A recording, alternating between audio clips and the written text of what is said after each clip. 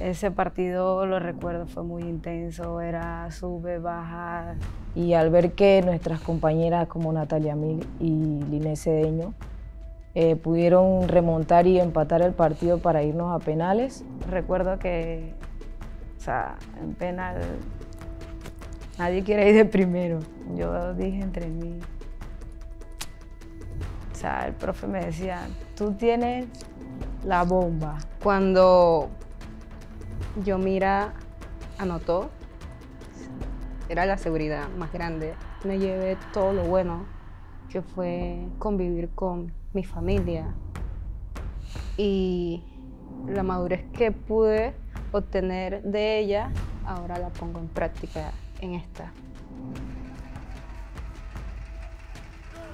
Un estadio tan lleno, que te estuviesen gritando, la concentración, tenías que tener una paciencia, una calma única. Me costó muchísimo, demasiado, ya que no estaba acostumbrada a, eso, a, eso, a esas jugadas así tampoco.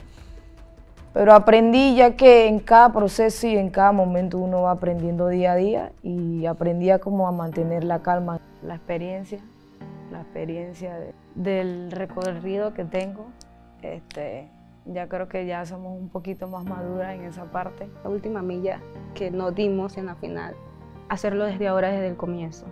No esperar el último partido, comenzar al 100 y terminarlo al 100 y nunca quedarnos con nada, sino darlo todo en el campo. En lo personal a mí misma me ayuda bastante ya que tengo que mejorar cada día más para poder ayudar a mis compañeras y a las indicaciones que me dé el profe para poder cumplir el objetivo que es llegar al Mundial.